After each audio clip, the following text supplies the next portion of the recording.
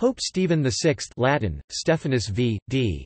August 897 was pope from the 22nd of May 896 to his death in 897.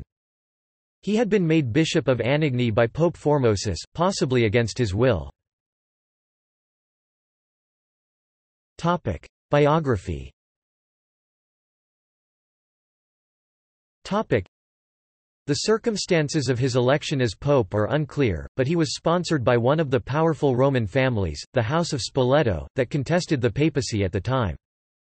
Stephen is chiefly remembered in connection with his conduct towards the remains of Pope Formosus, his penultimate predecessor.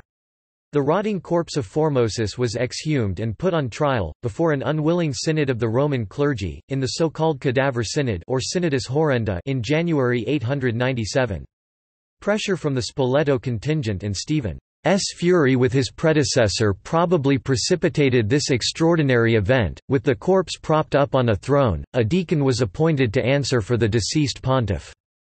During the trial, Formosus' S. corpse was condemned for performing the functions of a bishop when he had been deposed and for receiving the pontificate while he was the bishop of Porto, among other revived charges that had been leveled against him in the strife during the pontificate of John VIII. The corpse was found guilty, stripped of its sacred vestments, deprived of three fingers of its right hand the blessing fingers, clad in the garb of a layman, and quickly buried, it was then re-exhumed and thrown in the Tiber. All ordinations performed by Formosus were annulled. The trial excited a tumult. Though the instigators of the deed may actually have been Formosus' Enemies of the House of Spoleto notably Guy IV of Spoleto, who had recovered their authority in Rome at the beginning of 897 by renouncing their broader claims in central Italy, the scandal ended in Stephen's imprisonment and his death by strangling that summer. See also.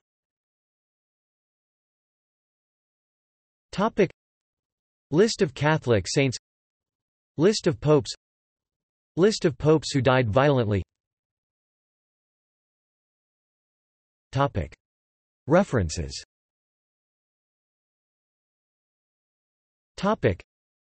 This article incorporates text from a publication now in the public domain, Herbermann, Charles, ed. 1913.